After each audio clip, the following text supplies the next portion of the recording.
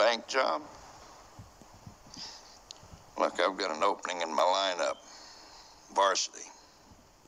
Chance of a lifetime.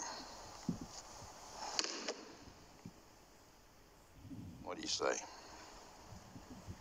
I say those people that pray here are wasting their time. God doesn't watch sports.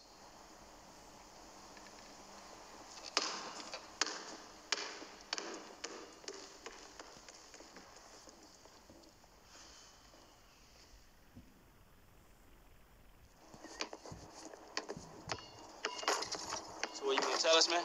us, man? It's nothing.